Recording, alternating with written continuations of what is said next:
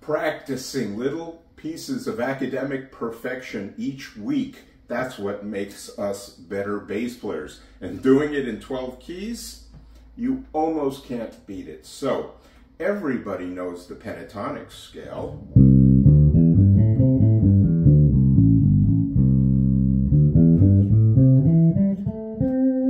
Now, if you practice playing melodies in pentatonic in 12 keys, you are going to uh, relate to all kinds of different harmony and you're going to be all over the neck.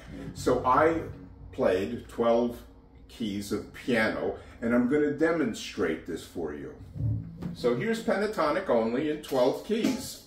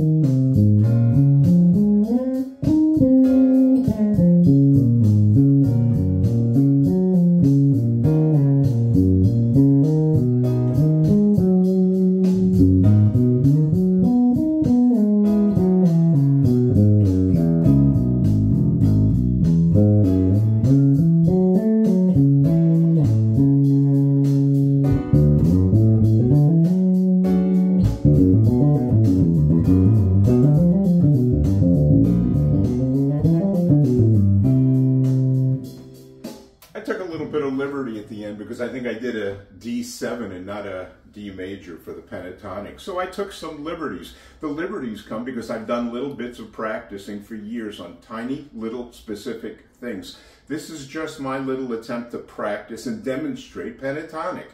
Now here's the last thing to remember. You can't perform this stuff, which is one reason why I don't like click tracks for practice and metronomes for practice. I knew the tonality. I had already done it out of time. You gotta go slowly out of time. And go through the 12 keys. If you do this and you do it with other scales, you are to improve as bass players.